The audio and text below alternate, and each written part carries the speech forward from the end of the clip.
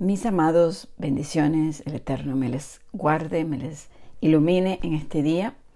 Hoy quiero hablarle de la calumnia y difamación, porque cuando usted está caminando en el camino de la verdad, desde que usted comienza a caminar, espere que se levanten falsos testigos, testimonios, difamación, de que usted está mal y todo lo que ya muchos de ustedes conocen. Entonces, quizás las cosas empiecen a arreciar y a ponerse aún más fuerte, porque el enemigo va a usar todo lo que esté a su alcance a través de las personas alrededor de usted para difamarle, calumniarle, para que no le escuchen, para quitarle toda dignidad, todo honor, para dañarle su testimonio.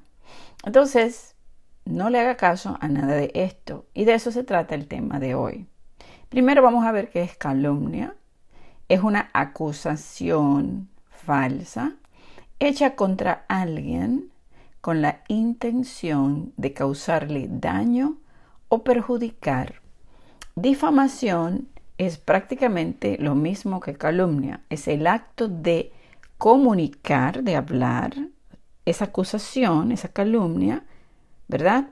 Falsa, para dañar su honor, dignidad o reputación sin verdaderas pruebas. O sea, son cosas manipuladas que las personas usan, eh, quizás una foto suya del pasado, puede usar también alguna conversación y, y, decir que usted quiso decir algo que no es, puede también incluso cambiar información, hacer cosas, programar videos, decir que usted es alguien que usted no es. Y usted sabe que eso se ve bastante hoy y que las computadoras hoy se prestan para todo. De hecho, a muchos pues artistas y cosas así le hacen pues difamaciones y montajes y todo eso. Y lo vemos en el mundo hoy cuando quieren pues dañar o quieren provocar una noticia.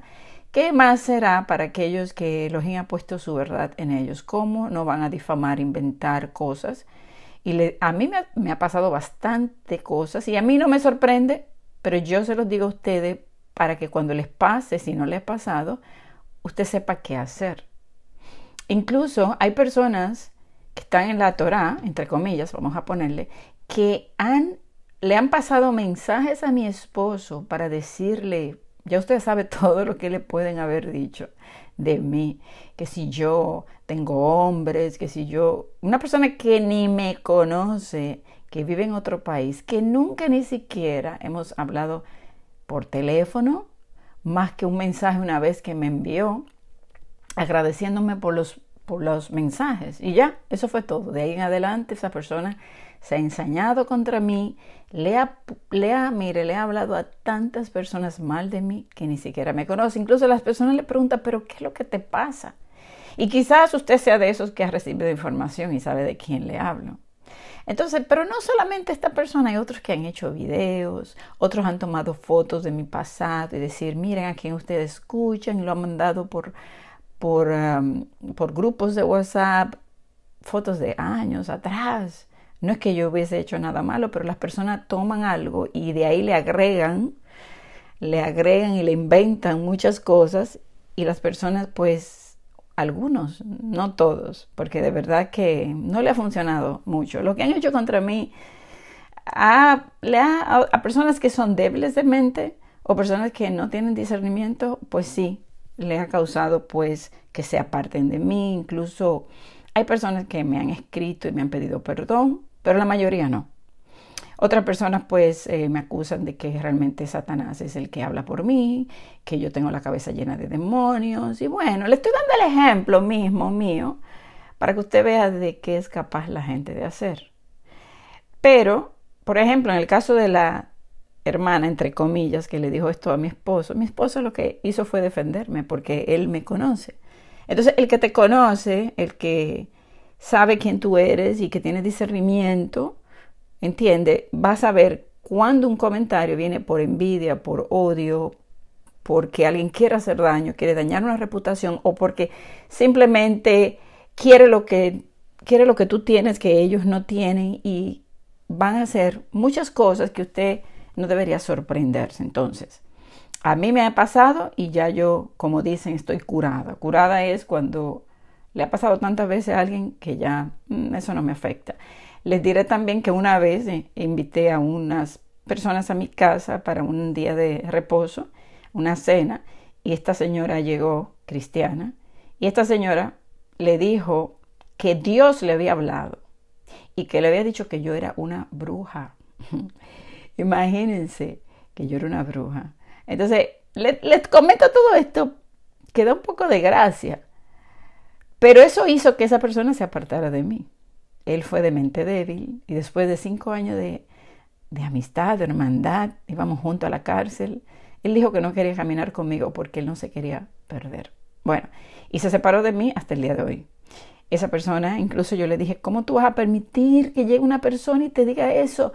¿Cómo tú vas a permitir que rompa esta, esta amistad, esta hermandad? Bueno, y él se dejó, pues, seducir de sus mentiras, de las mentiras del enemigo. Entonces, la escritura dice que somos bienaventurados cuando nos difaman, nos calunian por él. O sea, tenemos que padecer por hacer la voluntad de Él, porque si hacemos lo malo, y entonces, bueno, es verdad lo que se dice de usted, eso es otra cosa. Pero cuando usted está caminando en los caminos de el Adón Yeshua y usted está ahí buscando todos los días limpiándose y alguien se levanta es porque quiere que usted caiga, quiere que usted no obre, quiere que no le escuchen, porque el enemigo usa estas estos dardos y los lanza contra usted. Y esto es algo que siempre ha estado y que las escrituras nos hablan de eso. Entonces, no se sorprenda, no se deje intimidar, no se deprima, no le haga caso. Usted continúa porque Satanás te va a acusar todo el tiempo y va a usar a las personas para herirte, pero tú eres amado, tú eres de estima para Elohim, eres de honor. Así lo dice la palabra, ¿qué importa lo que el hombre te pueda hacer, lo que el hombre pueda decir? Tú levántate a su voluntad y cuando te comiencen a levantar calumnias, falsos testimonios y traer cosas de tu pasado, alégrate, gózate, soporta, porque vas bien. Y esa es la evidencia de que tú estás caminando en el camino correcto. Ahora, usted sabía que por difamación se le da prisión de tres meses a dos años y multas en este mundo terrenal. La difamación puede llegar a crear unos daños increíbles. Pero, ¿qué haremos nosotros? ¿Qué nos dicen las escrituras? Porque tú y yo somos difamados, seremos difamados y calumniados. No hagas nada. Absolutamente. Presenta tu caso a tu abogado y a tu juez y en su tiempo, Él obrará. Déjale la venganza a Él. Usted no haga nada. Más bien, perdone a los que le hacen tal cosa. Entonces, pero no se deje intimidar por ellos. No se deje porque eso es lo que el enemigo quiere. El enemigo quiere tumbarte, quiere deprimirte, quiere hacerte sentir triste. Ay, pero imagínate, ahora la gente no me va a escuchar. Olvídese de eso. Tú te levantas y sigue. Porque no todos van a creer a esto. Hay gente que sabe lo que Elohim ha, ha depositado en ti y sabe si, si tú estás cambiando, sabe si el Padre ha puesto su palabra en ti. El que tiene discernimiento espiritual sabe que eso no es verdad. Es más, cuando una persona se dedica, como me pasó a mí, a llamar a todas las personas que me conocían y que teníamos en común para hablarle mal de mí, la mayoría de esas personas la gran mayoría no le creyó. Al contrario, en su forma de expresarse dijeron, esta persona tiene problema. Sin embargo, los que eran como ella se fueron de su lado, pero eran muy pocos. Entonces, los verdaderos hijos de Elohim, el padre le va a hablar, le va a decir, no, mira el que trae, Mira la actitud, mira la envidia que tiene, mira cómo se expresan sus palabras y te da el discernimiento para saber que la persona que está comunicando la difamación, la calumnia, tiene odio en su corazón, tiene envidia, es una persona frustrada, es una persona que realmente el enemigo la está usando, porque lo que le está diciendo, usted sabe que no viene del Padre, porque usted tiene discernimiento. Entonces, Vamos a ver cuál es la promesa que Elohim nos da. Porque si Él te dice, no tomes venganza, perdona y continúa, no te intimides, continúa con la palabra que yo te di, Él tiene, una, él, tiene una, promesa para ti y está en su palabra. Y dice Isaías 54, 15, si alguno conspirare contra ti, amado hermano, hermana, escucha, lo hará sin mí. El que contra ti conspirare, delante de ti caerá. Verso 17, ningún arma forjada contra ti prosperará. Y condenarás toda lengua, ¿me está escuchando? Toda lengua que se levante contra ti en juicio. Esta es la herencia de los siervos de Elohim, de Yahweh, y su salvación de mí, Yeshua, salvación, vendrá, dijo Elohim. No se preocupe. Usted tiene quien le defienda, más bien perdone, continúe, no se deje intimidar, no se ponga triste. Usted está en un proceso de restauración, usted está caminando en integridad, usted está tratando cada día de hacer su voluntad. El enemigo le va a molestar y el enemigo va a usar a los débiles de mente a los que tienen envidia, a los que le abren las puertas al enemigo, a los que tienen, andan en doble pensamiento, en dos caminos, los va a usar. Aún siendo pastores, aún siendo personas que usted diría, wow, pero este es un pastor que, que usted consideraba con sabiduría de repente, como me pasó a mí también, le digo que me ha pasado todo, que un pastor reunió a todos sus diáconos y toda su gente para hablarle mal de mí a mis espaldas. ¿Sabe por qué? Porque yo guardo el Shabbat. Por eso. Porque yo guardo el Shabbat y voy a Israel y porque una hermana fue a Israel y la hermana, el padre le abrió el entendimiento y bueno, y él entiende que fui yo que los seduje a la mentira, a la supuesta mentira que yo hablo, ¿verdad? Que es la restauración. Y bueno, no sé cuáles eran las motivaciones reales, pero les aseguro que no eran motivaciones buenas. ¿Y qué pasó? Bueno, la mayoría de esa congregación, evidentemente, cayeron en la trampa porque verdaderamente no tienen el espíritu, el espíritu para discernir. Hubo uno de ellos que yo le dije, pero mira el árbol por los frutos, míralo para que te des cuenta, porque era una persona que yo por tiempo, yo creo que duré como dos años por las madrugadas, enviándole mensajes, levántate, vamos a orar y motivándolo. Y entonces el pastor le dijo que me bloqueara. Y yo le dije, pero mire el árbol por los frutos. Ah, pero eso fue motivo todavía de hablar más mal de mí. Yo no me estaba refiriendo a él, yo me estaba refiriendo era a mí. O sea, él entendió, el pastor, que yo estaba diciendo que él era un pastor sin fruto. Y yo le estoy diciendo a él, ¿cómo yo puedo estar mal si tú me ves aquí cada madrugada buscando la palabra, motivándote a orar? O sea, piensa, pero se dejó engañar. ¿Por qué? Porque no tenía el espíritu para discernir la verdad del error para discernir si hablo de parte de los si es verdad lo que ese pastor te está diciendo o no. Entonces, ahí es que usted tiene, cuando alguien le trae un mensaje, usted analice lo que trae, cómo lo trae, qué hay en el corazón de esta persona. Pídele al Padre que le dé discernimiento. Entonces, usted no se preocupe porque si hablan de usted, el Padre va a hacer lo mismo con aquellas personas. Ahora, vamos a ver qué dice los versos escriturales sobre esto para que usted pues con esta palabra entienda mejor sobre la difamación y la calumnia. Proverbios, Proverbios 10, 18. El que oculta el odio tiene labios mentirosos y el que esparce calumnia es un necio, un necio, imagínese. Mateo 12:36, y yo os digo que de toda palabra vana, que no edifica, que hablan los hombres darán cuenta de ella en el día del juicio. Entonces las personas hablan, hablan mal, difaman y calumnian y no saben que un día van a dar cuenta por esas palabras. Pero si se arrepiente, si se arrepiente de eso que hizo, el Padre los restaura, porque es un Padre de amor. Pero mientras tanto sigan acumulando ira para el día de la ira y con sus palabras están acumulando más juicio. Primera Pedro 3, 16. Teniendo buena conciencia, para que en aquello en que sois calumniados, ¿Ven que es normal que seamos calumniados? Sean avergonzados los que difaman vuestra buena conducta en Yeshua. Entonces, ¿cómo debe ser tu conducta? Buena.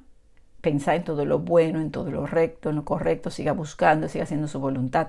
Cuando se levanten a difamar y a calumniar, tranquilo, tranquila, continúe, porque finalmente esos serán avergonzados.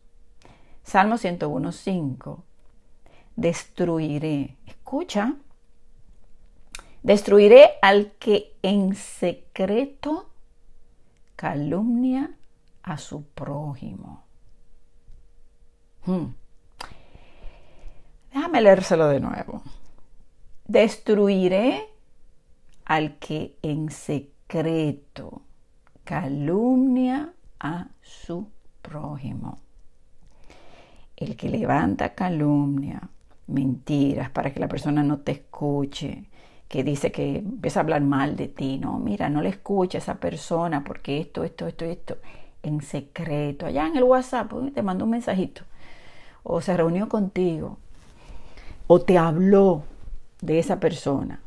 Mira lo que dice ahí, destruiré, no toleraré, y mire cómo le dice, no voy a tolerar el de ojos altaneros y de corazón arrogante.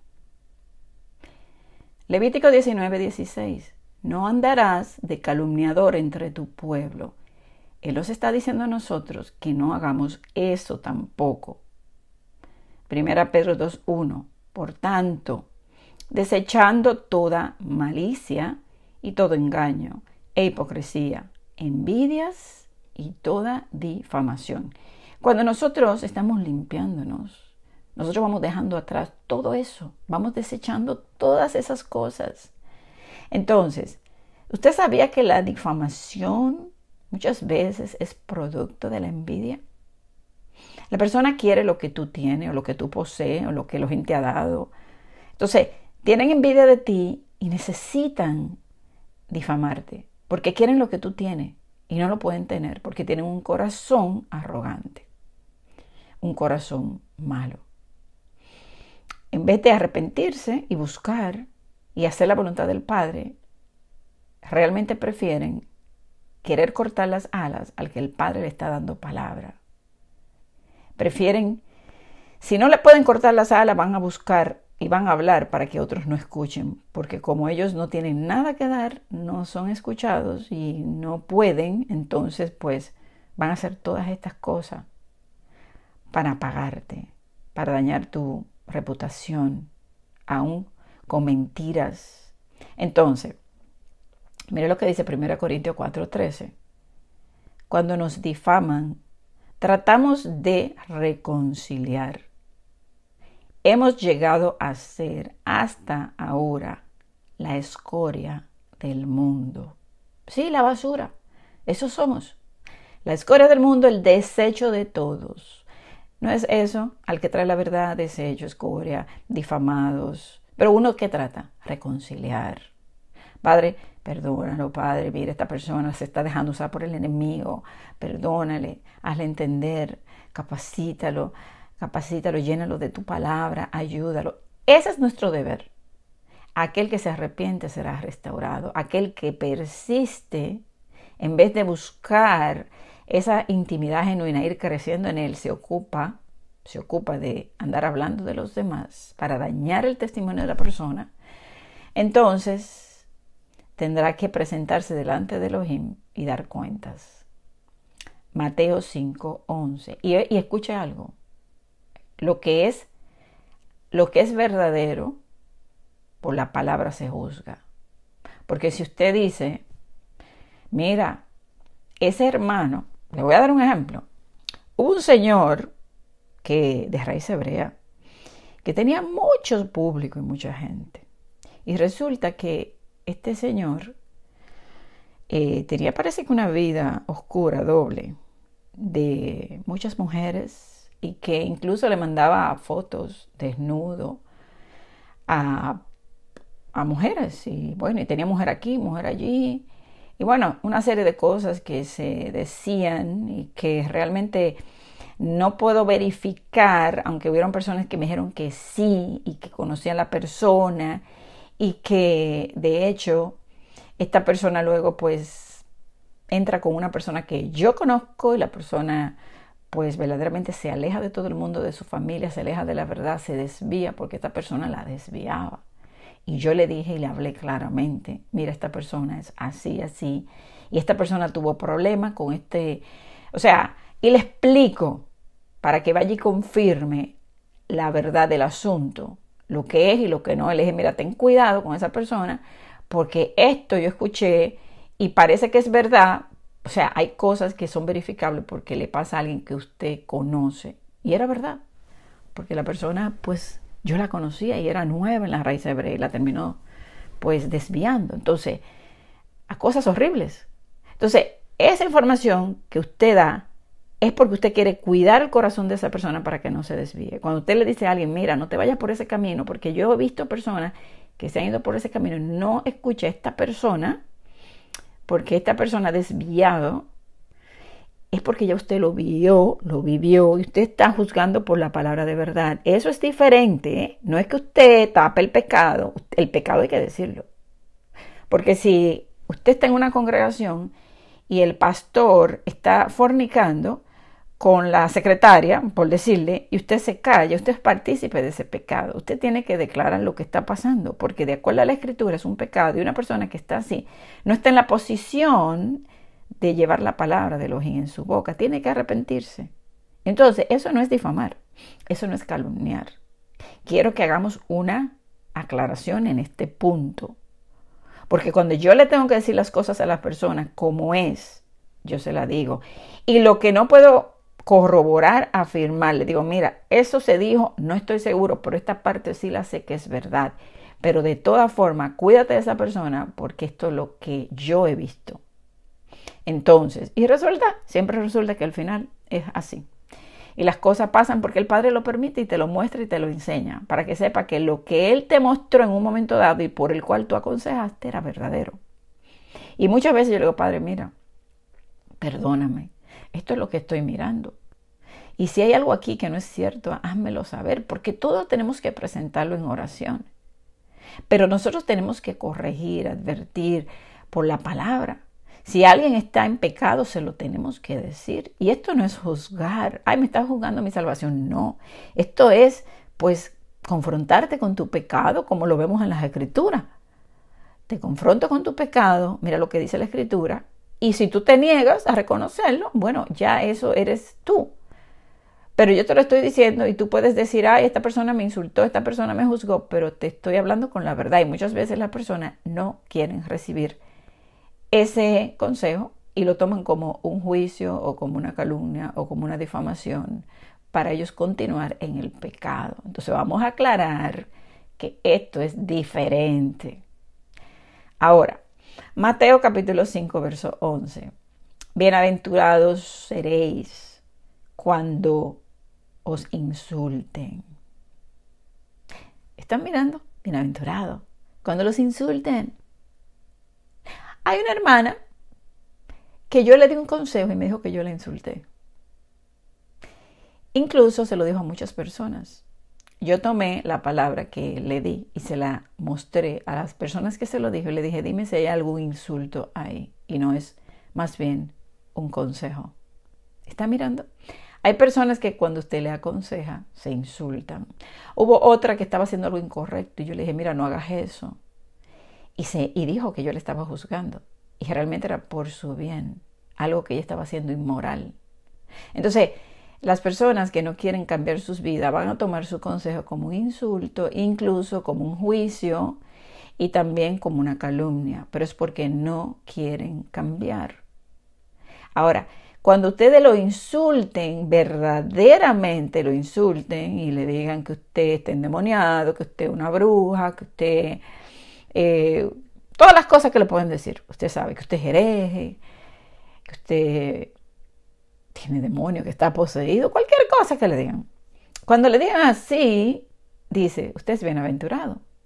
Cuando lo persigan, también bienaventurado. Y cuando digan todo género de mal, toda clase de mal contra ustedes, mintiendo, bienaventurado son, porque están haciendo la voluntad de Yeshua. Y lo dice ahí, cuando los persigan y digan todo género de mal contra vosotros falsamente por causa de mí. Cuando usted está en el camino, cuando usted está recibiendo palabra, usted le está dando y se empiezan a levantar, alégrese, gócese y sepa que bienaventurado es y es normal y es permitido por Elohim.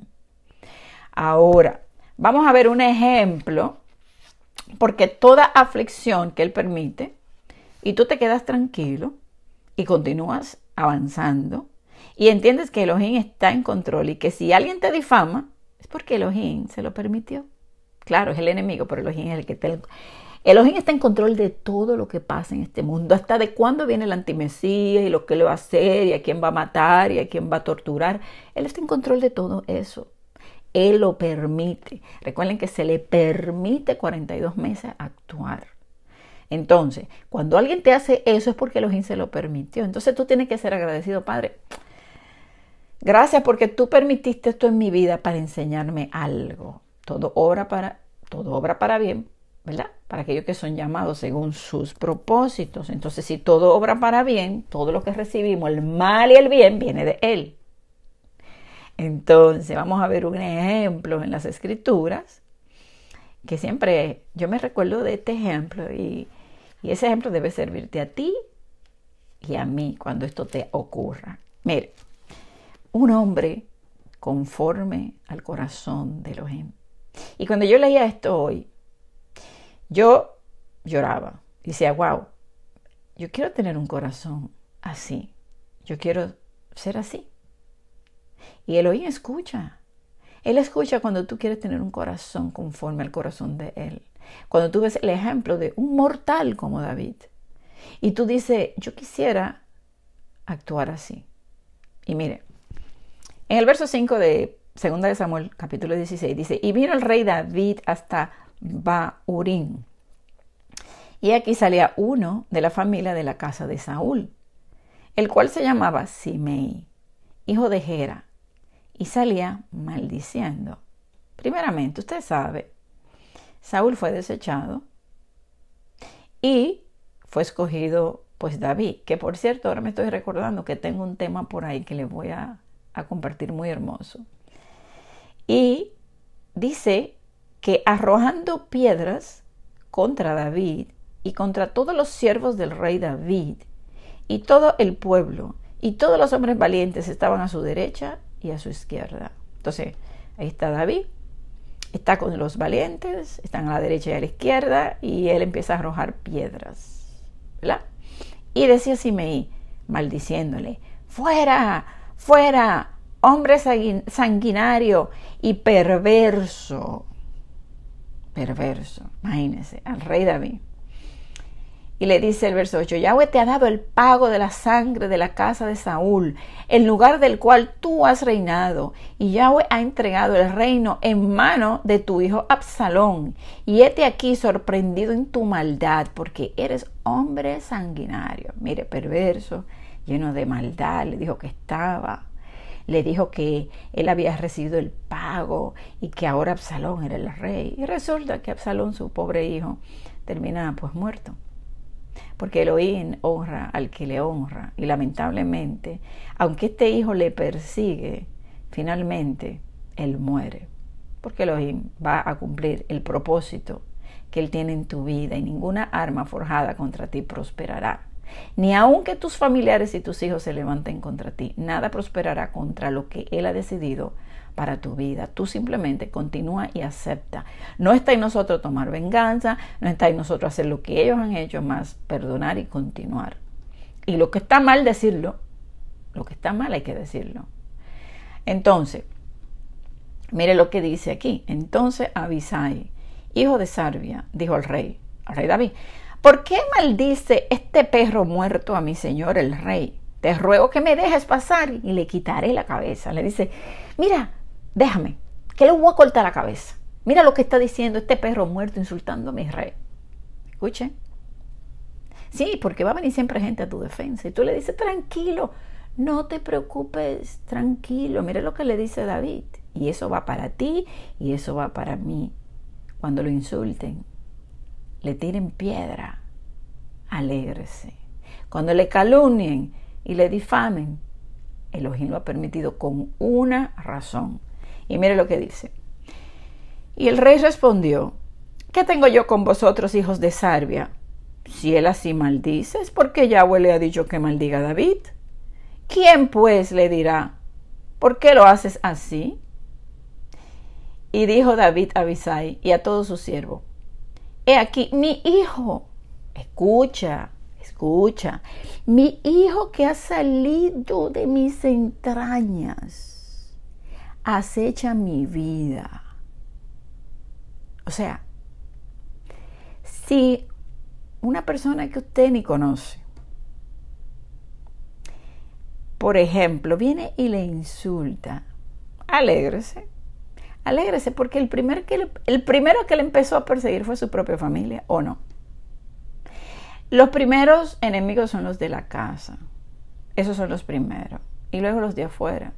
Entonces mira cómo él le dice, pero si el propio hijo mío que se lo de mi entraña me está persiguiendo, si mi propio esposo me está persiguiendo, si mi hermano, si, si esos de los de la familia me están persiguiendo, aquel que está en otro lugar que yo no conozco, está diciendo esto, déjalo, déjalo, déjala.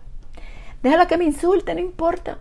Déjale que le pase ahí un mensaje a mi esposo diciéndole todo eso de mí para difamarme, para que mi esposo, mi esposo se aleje de mí, porque claro, posiblemente envidia la relación envidia, a lo mejor tiene un mal esposo.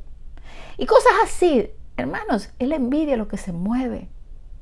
Entonces, le dice, imagínate, si un hijo que sale de mis entrañas echa mi vida, ¿cuánto más ahora un hijo de Benjamín? Déjale que maldiga. Pues Yahweh se lo ha dicho. Nada pasa a los hijos de Elohim sin que Elohim no dé el permiso. Satanás tiene que pedir permiso. Cuando alguien le insulte fue porque él fue y le pidió permiso. Y le dijo, sí, ve, insúltalo, insúltala. Que yo cuando le insulte, yo la voy a, a permitir la aflicción para bendecirla o bendecirlo. Escucha. Y le dice, déjale que me maldiga. Pues que Elohim se lo ha dicho que me maldiga. Quizá, mira lo que él esperaba. Quizá mirará Yahweh mi aflicción él se afligió. Porque usted se aflige, claro que le tiene que afligir el corazón. Y me dará Yahweh bien por sus maldiciones de hoy. Qué tremendo, ¿no? Déjalo. Él se lo permitió. Quizás él me va a mirar mi aflicción. Porque cuando, mire, cuando la prueba le llega, usted se aflija. Y después de la aflicción viene una bendición. Entonces, mientras más lo lleven a, llorar a la presencia de Él, porque usted no va a tomar venganza. Porque la venganza, ¿verdad? No, no va a obrar. La ira no obra la justicia divina. Usted se queda calladito. Usted, usted ahí va donde el Padre presenta su queja. Cada vez que alguien me hace algo, yo lo escribo. Yo presento mi queja delante de él se la presento en oración y se la escribo. Y yo digo, ay, ay de los que están escritos en este cuadernito. Padre, perdónalos. Y le pido que, y le digo que le perdone también. Recuerden que el Padre nos dice que tenemos que perdonar, perdonar. Nosotros delante de Elohim. No es pedir perdón a la persona de boca afuera. Sí, porque cualquiera pide perdón. Ay, perdóname. ¿Ustedes recuerdan cuando un niño hacía algo malo a alguien que el papá le decía, ven, pídele perdón. el niño, perdón, pero en su corazón no estaba ese perdón. En su corazón decía, qué bueno que te lo hice. ¿Está bien? Entonces, una aflicción lo que te va a llevar es a los pies de Él.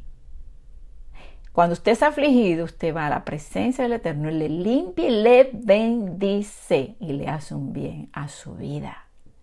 Por eso le dice, quizás él me va a mirar cuando yo esté llorando y afligido y me dará una bendición por todas estas maldiciones. Porque las maldiciones no van a caer sobre usted. Él convierte la maldición en bendición para su vida. Entonces, nadie puede maldecir. Lo que Elohim ha bendecido, usted es bendecido. Y nada del mal que puedan hablar le va a caer a usted. Así que no se preocupe, continúe, recibe el insulto, reciba la difamación, reciba todo lo que venga y usted gócese, porque detrás de esa aflicción viene una tremenda bendición. Amén. Y recuerden que dice el Padre que Él te mostrará la salvación y que toda lengua que se levante contra ti caerá, no prosperará, porque cada cual dará cuenta de lo que ha, de lo que ha dicho con su boca si no se arrepiente. Se puede arrepentir, ser restaurado y nosotros prosigamos haciendo el bien, prosigamos hacia adelante y no permitamos que nadie nos detenga. Amén. Elohim les bendiga.